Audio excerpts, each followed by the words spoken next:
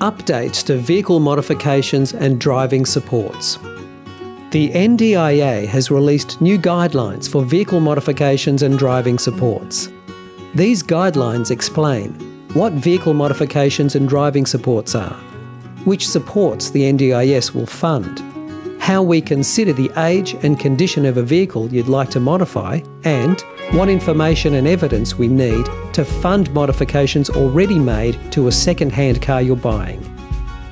You should always get advice before buying assistive technology, like vehicle modifications.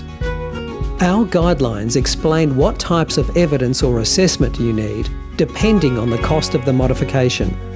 This template will help your vehicle modification assessor work with you to provide evidence for support requests over $15,000. This assessor has to be a driver trained occupational therapist if you want modifications to allow you to drive the vehicle.